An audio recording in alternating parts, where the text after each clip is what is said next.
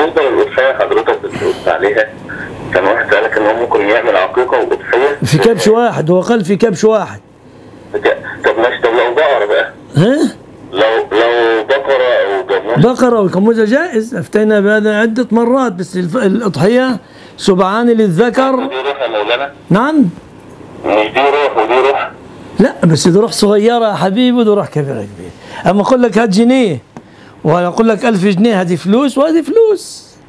هذه فلوس وهذه فلوس. لا تقل هذه روح حتى ما أذبح دجاجة. أذبح عصفورة. وقل أنا بضحي. صلى على رسول الله.